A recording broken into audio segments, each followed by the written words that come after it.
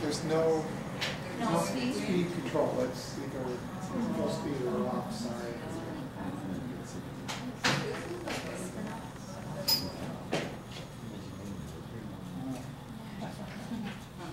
How do I balance that? Buddhists take the world as it is, and they're into, you know, compassion and kindness and right action. Right, This doesn't seem to have right action in it or a particular need for, mindfulness, yeah, mindfulness or compassion. right. which is consciousness. Hi.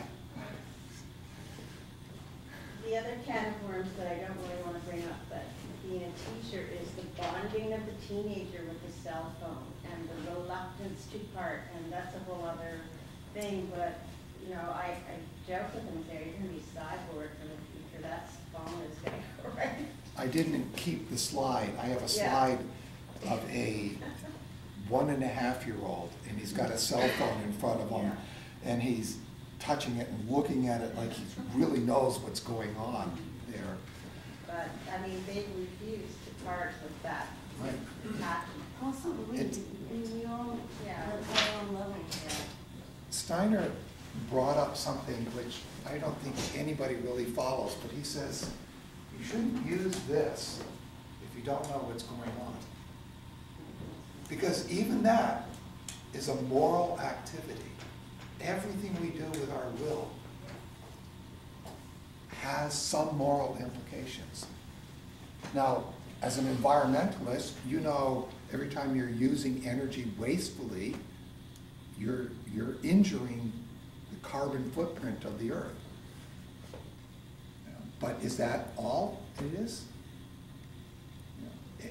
So we're gonna try to get into some of those things um, today, but these are, they're absolutely, the questions you're asking is absolutely the forefront of where we are. This is the frontier. And these are deep moral questions. And your inner feelings are guides to the truth. But when we develop the consciousness soul, there are truths there that our total inner being, all our soul is screaming that can't be. I totally reject that. And yet it is the truth. And the consciousness soul, as it starts reaching into spirit self, will grasp that truth, even though the soul revolts against it, even though your feelings revolt against it. That's why you brought the verse, which we didn't do this today. We will. Okay. Because you have to have courage to Right. manage it. Well, there's two verses. The, uh, Two, of course. Anything else? So, So um, you- I brought up to- this, To recap, so what you're saying is you're having, like in the soul, there's, there's feelings towards what's happening. And I understand like not moving into duality of good and bad, but you're saying there needs to be development of the moral, um, fiber, the mo- the moral, Right. morality Mhm, that reaches mhm. into the consciousness. Mhm. correct. um, That, to- To understand what action or non-action is. Correct. The- And, and this is, one of the things that is taught in anthroposophy is that we have three, actually four consciousnesses. We have our awake consciousness, where our thinking exists. We have a sleeping consciousness that our feelings are akin to. And we have the undreaming sleeping consciousness that is akin to our will. And then we also have coma state. Now, in our time, we will not reach that awakeness that we have in our everyday consciousness in our will. But we have to start where we are and, Practice. and try to get into Practice. an awakeness of our will. And that's why these things are here. That's why these challenges are here. It's because it's, oh man, mm-hmm. or oh human, know thou thyself. So we are then the crown of creation. We are the crown of creation in earth time. We are the, the stage where the drama is taking place. And Shakespeare knew this.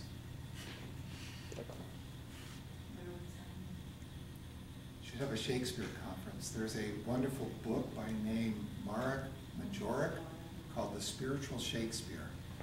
Highly recommend it. There will be, there will be Shakespeare and Eurythmy and um, orchestra. I think um, Mark Levine is working on that with a whole bunch Mark of people. Levine's work is So, so, i- you know, there will be something like that, a Right. tour across North America. Wonderful, Yeah. wonderful. Well, we talked about mythology, preparing people for the future. How long ago was Shakespeare? 500, or 400 years ago? 400 years ago. yeah. Guess what? Some people, not all, but some people who were alive in Shakespeare's time and a couple hundred years after are incarnating today. Mhm. What role did that Shakespeare have in preparing them? What role does it have in preparing people today? And these things are not insignificant. So we talked about robots today and a kind of similarity perhaps that they have to the Rakshasas, which were the beings who resulted from the race of Abel finding and taking wives from the race of Cain. And these two were supposed to stay separate and apart. And so by coming together and having offspring, they created beings that were much more powerful than other human beings. But at the same time, they were very easily seduced by evil forces, shall we say Lucifer, so that they corrupted Atlantis and caused the good spirits to bring Atlantis to an end. Are you um, oh, knowledgeable about the, um, the uh, the aeons in the uh, Gnostic Gospels uh, from the Nag Hammadi Library and the work of uh, John Lamb Lash? Well, I don't know his work, but I do know about a lot from the, I- and I- I've been studying it. One of my other books I will write after this one is uh, Tracking the Ancient Mysteries from Egypt to the Founding of America. And uh, I will go into Nag Hammadi and Gnostic texts and uh, the eons and the archons related to the archai in the esoteric Christian traditions of the nine hierarchies. They are the time beings. And when an archangel is the time spirit, they step up a half step so that they can function like an archai during that 350 or so years that they are the time spirit.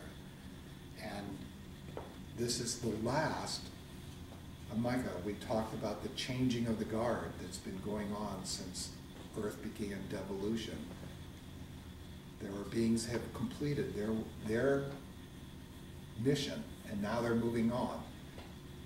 And Michael is one of those who will move on to become an archai.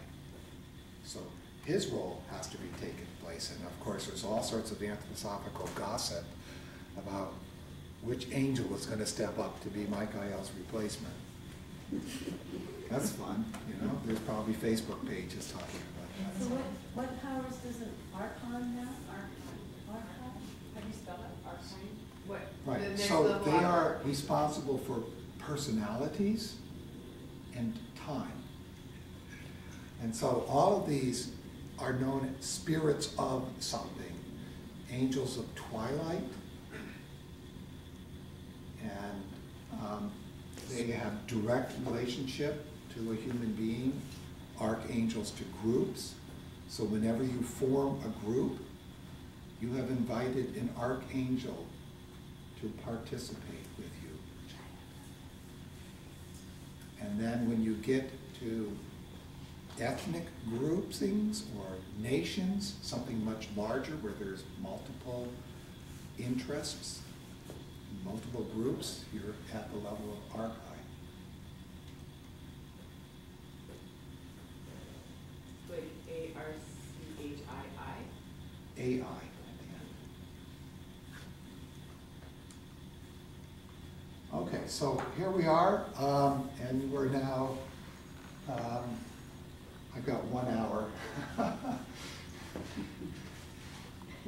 Um, So I did try to, in this talk, get into your question, how are we going to handle sexuality some, but um, as I said, I've had to take out quite a bit in order to get it into an hour, because I also want to talk about the God of technology. And he was married to Venus, so that's sexuality right there. That's right. So, Gabrielle, could you, sorry? The stars once spoke to men. It is world destiny that they are silent now. To be aware of the silence can become pain for earthly men. But in deepening silence, there grows and ripens what man speaks to the stars. To be aware of the speaking can become strength for spirit man.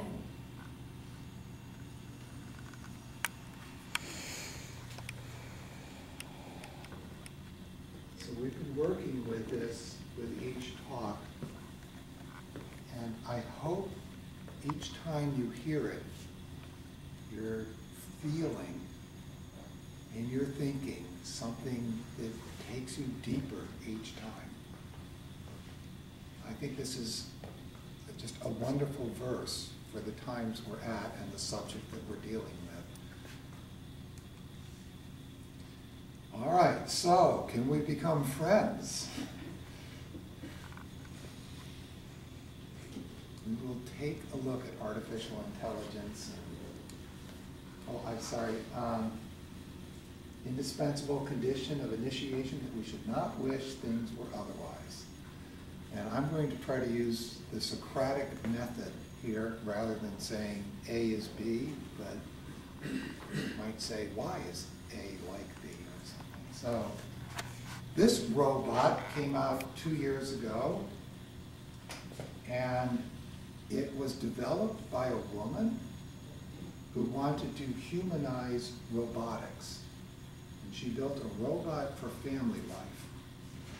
You can put it on your counter, it can roll around a little bit.